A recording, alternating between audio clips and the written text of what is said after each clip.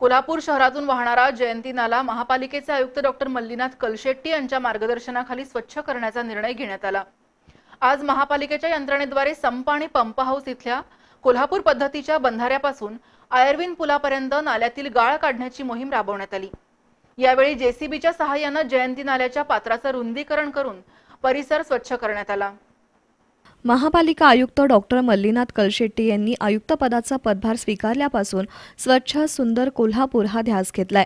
त्या अनुषंगानं जयंती नाल्याची स्वच्छता मोहीम सध्या राबवण्यात येते आज महापालिकेच्या यंत्रणेद्वारे संप हाऊस ते आयर्विन पुलापर्यंत सकाळी सहा वाजल्यापासून नाल्यातील गाळ काढण्यासह नाले रुंदीकरणाची मोहीम राबवण्यात आली.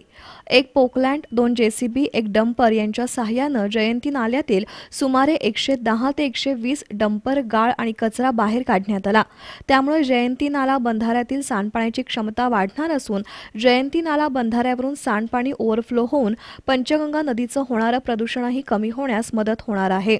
यावेळी उपायुक्त मंगेश शिंदे आरोग्य अधिकारी डॉक्टर दिलीप पाटील जलाभियंता सुरेश कुलकर्णी शाखा अभियंता आर के पाटील उदय गायकवाड दिलीप देसाई आरोग्य निरीक्षक ड्रेनेजचे सुमारे शंभर अधिकारी कर्मचारी यांनी यामध्ये सहभाग नोंदवला.